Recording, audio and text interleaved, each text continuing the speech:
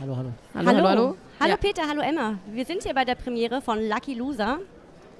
Ein Sommer in der Bredouille in der Kulturbrauerei in Berlin. Schön, dass ihr euch kurz Zeit nehmt. Ich sehe schon, ähm, ihr seid ein perfekt eingespieltes Team. Total. Wunderbar. Lief das bei den Dreharbeiten genauso ab? Ja, da war es sogar noch besser, muss ich gestehen. Was? Nur weil ich dein Mikrofon Nee, jetzt ein bisschen falsch halte. Nee, es war schon besser als das jetzt hier gerade. Ist Hanna eine typische 15-Jährige? Naja, was ist denn typisch? Was ist eine typische 15-Jährige? Alle sind unterschiedlich und man muss einfach, es ist halt einfach, jeder ist anders und so hat auch Hannah wie eine andere, wie, ja, wie sie eben ist, ihre Vorlieben, ihre Wünsche, ihre Träume, ihre Beziehung zu ihren Eltern. Ja. Und wie viel, wie viel Emma steckt in, äh, in Hanna?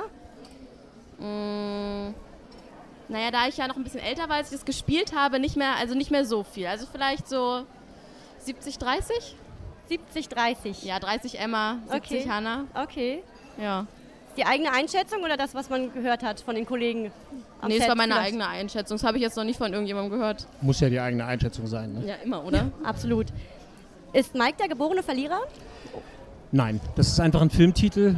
Mike ist im Endeffekt eigentlich ein Winner. Er hat diese wunderbare Tochter, er hat diese äh, wunderbare Ex-Frau, die vielleicht wieder seine Beziehung wird. Er hat halt seine Arbeit verloren und hat halt kein Geld. Das hat ja nichts mit, das hat ja nichts damit zu tun, dass man ein, ein Gewinner oder ein Verlierer ist. Ich glaube, er hat das Herz am rechten Fleck. Er hat ein liebendes Herz, sage ich mal. Ja. Und wer das hat, ist ja immer ein Gewinner, oder? Absolut. Richtig. Wie kann man die Beziehung zur Ex-Frau Claudia beschreiben? Na, ich denke, dass Mike sehr an ihr hängt, auf, aufgrund halt eben auch der Tochter. Also, dass die Tochter ihm eigentlich spiegelt, dass es sich lohnt, äh, für die Liebe zu kämpfen, so sage ich es mal. Und na, dass, äh, dass die Claudia auch eine, eine liebenswerte Frau ist, vielleicht ein bisschen kantig, aber dass, dass er deshalb halt das weiter versucht. Immer weiter versucht. Und er ist ja nicht, er ist ja kein, kein, kein Stalker in dem Sinne, sondern Naja, doch, ein bisschen schon. es reicht. Nein, es reicht nicht. Na gut, ja. Und Hannah, die Beziehung zu der Mutter? Wie würdest du die beschreiben? Gespannt. Also es ist ges ein gespanntes Verhältnis. Obwohl ich die sehr liebe, so ist es auch, ach, dass man dass man es einfach gar nicht mehr aushalten kann, dass die Mutter nervt. Das kenne ich natürlich auch von mir selber.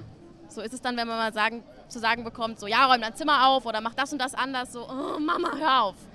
Und so ist es auch bei Hannah. Das ist schon sehr ähnlich. Ja. Okay. Naja, und diese Art der Reibung ist natürlich auch äh, wahrscheinlich interessant für Mike. Also das mag er auch, das, mag, das schätzt er auch an seiner Tochter und das schätzt er auch an seiner Frau. Reibung erzeugt Wärme. Ja, genau. Habe ich schon mal gehört. Ihr wart mit dem Film ja auch schon beim Münchner Filmfest. Wie waren denn die Reaktionen der Zuschauer? Ja, gut, oder? Sehr gut, ja.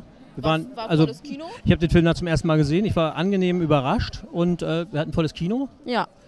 Viele Leute. Die Leute waren Viel begeistert. gelacht wurde. Wir hatten es schon- wurde auch geweint. Es, ja? Ja.